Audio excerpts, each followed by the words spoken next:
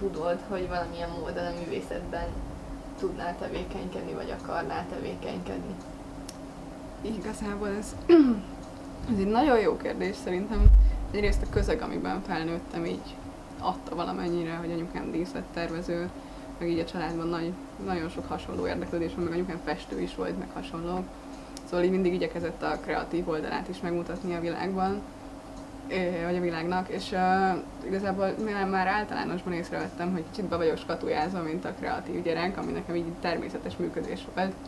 És akkor kicsit így bele is ültem ebbe a pozícióba, és akkor így nem tudom, gimire jöttem rá, hogy amikor így nagyon gondolkodtam azon, hogy mi érdekel, akkor rájöttem, hogy de hát itt volt a szemem előtt végig igazából, hogy ahova véletlenül beskatujáztak, az igazából egy ilyen mélyebb belső hívás lehetett. És hogy, hogy pont az intermédia lett aztán végül? Hú, hát az lehet, hogy az elköteleződéstől való félelem volt az első motiváció, hogy nem akartam csak festő lenni, vagy csak szobrász, vagy nem tudom. És ahogy így utána olvastam, tökre megtetszett az a koncepció, hogy nem is tudom, ilyen kutatás alapú alkotás, és így művészet, ami mögött igenis van valami, és van értelme. Már ez nem biztos, hogy leírja az intermédiát. Mit gondolsz arról, hogy mennyire alkotsz vagy alkotnál világjobbító szándékkal? Én szeretnék hinni abban, hogy nem tudom, hogy ha az ember, jó, ember jól alkot, akkor mindenképpen valahol világjobbító lesz. Meg szerintem ez egy tök tágfogalom. Mert hogy igazából azt is el tudom képzelni, hogy óriás tengertisztító installációk történnek, meg hasonlók, mert az is ideálisan hangzik, de amiről sokszor a suliban is szó van, hogy igazából onnantól világváltó egy művészet, hogy valakihez elér, szerintem. Én szeretem azt gondolni, hogy minden alkotás valamire reagál akkor is, hogyha teljesen intuitív, és nem tudom, akár a, az alkotó akkori pillanatnyi érzésére, vagy hasonló akár magunknak csinálunk dolgokat, akár nem, ugye azért vannak, hogy nézzék őket, vagy hogy látszódjanak. Nagyon sokszor. És ez magában hordozza azt, hogy onnantól, hogy látják, akár ha negatív élményük van az embereknek vele, az lehet világmásító.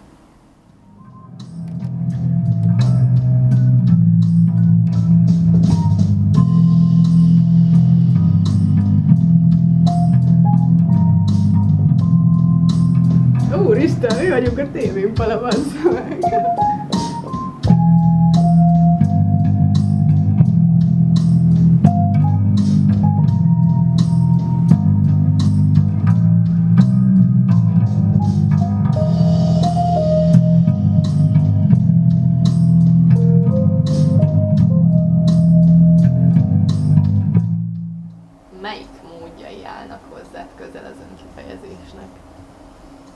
Hú, hát hogyha ezt, ezt úgy veszünk, akkor a beszéd talán legközelebb, mert nagyon sokat tudok beszélni, de, de hogyha ilyen művészeti irányban, nem tudom, hát az ilyen tradicionális, ilyen kézzel csinálós dolgokat, mint a festés nagyon szeretem, mert azok szerintem nem tudom, így bele lehet tenni önmagadat igazán, de mondanám a fotózást, de abban talán nem magamat találom meg, hanem a világot.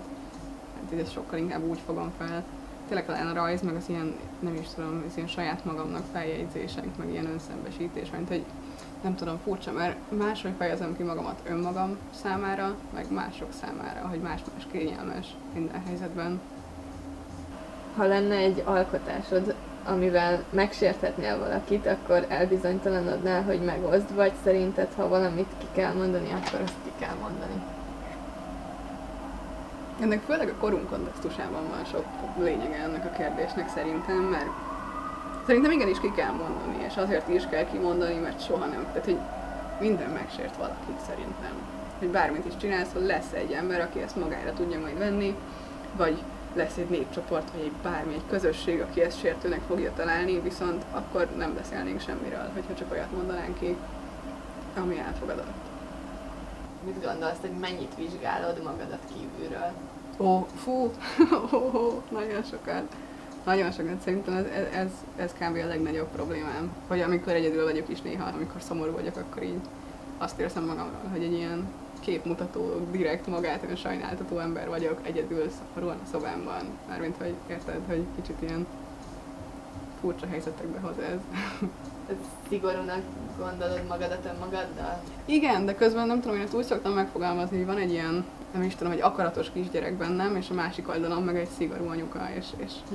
mind a kettő ugyanannyira vagyok, és éppen miatt egy ilyen folyamatos kettőség szorít egybe. Hogy a kisgyerek őrültködni, akkor az anyuka meg csak így betartani a szabályokat, és jól tenni mindent. Hogyan éled meg a változást, és mennyire tudsz alkalmazkodni? Hú, hát én, én egy kicsit szeretek szenvedni az ilyen helyzetekben, mint egy, a változást szerintem így a szenvedésen keresztül szoktam tudni megélni, hogy először magamat kell sajnálnom magammal szemben egy kicsit ahhoz, hogy meg tudjam élni a változást, de szerintem szeretem a változást olyan értelemben, nem is tudom, igen, hogy, hogy jó dolog a változás, és szeretem is jól felfogni, meg jól keresztül menni rajta. És az intermédia az mennyiben volt változás? Tehát, hogy mikor, milyen elvárásaid voltak akkor, Aha. amikor idejöttél, és mondjuk mi az, amin ö, úgy érzed, hogy változtatnod kellett, és ezt hogy élted meg? Uh-huh. Hát a, nem tudom, hogy azt, azt láttam, Sugár János is sokszor kiemeli, hogy mennyire feszültek vagyunk és görcsösek, és szerintem ez főleg azoknál igaz, akik egyenesen gimiből jönnek, mert ugye ott még te vagy a kisgyerek, akinek Mm. meg kell kérni a tanárt, hogy kimehess WC-re.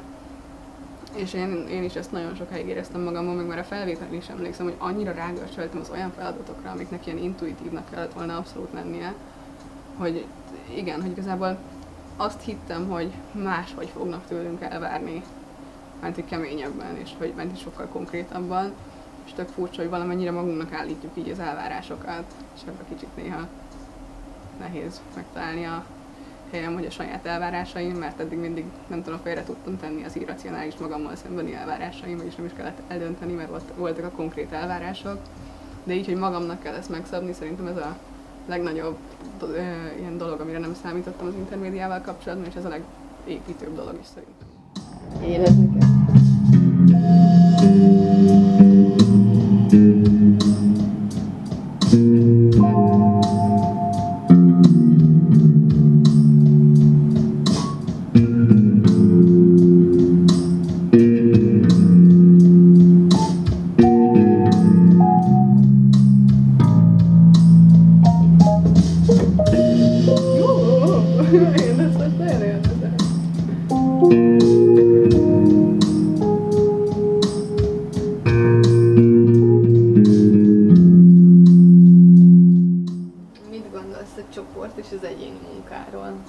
Ú, megmondom őszintén, én kicsit jobban szeretek csoportban dolgozni, mert akkor mindig van hova visszaesni, úgymond. De ez is attól függ, hogy milyen a csoport. Tehát, hogy én tudom, én, én kiskorom óta érzem, hogy hajlamos vagyok az ilyen kicsit laposabb csoportoknál letenni a sarkamat, és azt mondani, hogy ez így nem mehet tovább, de hogy így én nem szeretem magamat abban a helyzetben annyira, inkább az olyan csoportokban szeretek működni, ahol mindenki hajlandó ezt beleadni, és akkor nem tudom, akkor egyértelműen a csoportos munkát preferálom, de az egyéni munkának is megvannak az előnyei, meg nem tudom, szerintem egy, így egész életemben azon leszek, hogy így a saját magam legjobb barátja lehessek egy ponton, mert szerintem arra kell edzenünk mindannyiunknak, és azért az egyedüli munkát is kezdem értékelni. De kezdetben akkor ez nehéz volt? Vagy Hát nem tudom, kicsit akarnak gyerek voltam, vagy hát nem tudom, az a hangosan ordító, aki nem szégyel semmit, és uh, amiatt meg valahol szerettem egyedül dolgozni, mert szerettem egyedül úgymond learatni a babérokat, meg ilyesmit, csak akkor nagyon hamar belementem a saját ilyen nem is tudom, ilyen forgatagomba, hogy az ön megkérdőjelezés, meg a saját magammal, szóval könnyebben ráfeszülök, ha egyedül vagyok, hogyha mások segítenek így szembesíteni a helyzet valóságával, akkor könnyebben a realitást talaján maradok szerintem. Könnyen megbízol mondjuk másokba egy csoport munkába, vagy inkább azért emeled ki mondjuk az egyéni munkát, mert hogy ott akkor téged illet minden bizalom, és magadba bízol annyira. Igen, igen, igazából szerintem ez, mert hogy én, én úgy gondolok ideálisan a csoportmunkára, hogyha olyan emberek, akiket ismerek, és tehát kb. hogy magadnak válogatod a csoportot, hogy olyan emberek, akikkel tudod, hogy működsz, és az egyéni munka igen, azért, mert mindig én voltam a suliban is az az ember, aki a csoportmunkában az egészet megcsinálta, és akkor már inkább csinálom egyedül, hogyha én csinálom az egészet, de mert hogyha olyan a szituáció, hogy olyan emberek vannak tényleg a csoportmunka tagjaiként, akkor, akkor szerintem ez fantasztikus tud lenni. Mikor kezdtél el zenélni? Hát nekem anyukám nagyon kiskorom óta mondta, hogy két dolog fontos, hogy mindig sportoljak és zenéljek. És ezért már elsőben mondta, hogy menjünk el hangszert választani, mit fogok tanulni zeneiskolában. És már akkor megtetszett a szaxofon, csak ahhoz még túl pici volt a kezem, így 7 évesen, és ezért a sokkal praktikusabb fagottot választottam, azt tanultam két évig. aztán meg, megnőtt a kezem, és visszamentem szakszofonra, és azt meg öt évig nyomtam kőkeményen, csak ott is nem tudom. Kicsit így kiábrándított az ilyen szolfés része az egésznek, hogy mennyire ilyen nagyon struktúrált és ilyen görcsös a dolog, és ez kicsit így nem tudom, elvette a kedvemet a szabad zenéléstől nagyon sok ideig, és aztán így jártam apukám egy nagyon jó barátjához basszusgitározni így jó ideig, és ott is így tökre éreztem az ilyen zeneiskolai görcsöket, ahogy előjöttek a zenétől. És nem tudom, aztán kicsit később kezdtem el rájönni, hogy ezt így itt az ideje feloldani, és szerintem most is ebben a folyamatban vagyok, hogy így nem tudom egyáltalán értékelni bármit, amit csinálok, mert nem olyan zeneiskolailag tökéletes, és csinálni egyáltalán dolgokat, hogy jobb legyen. Igen.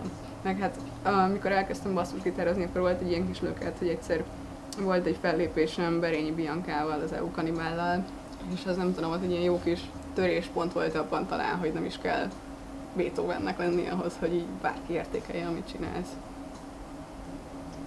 Mennyire vagy tervezős?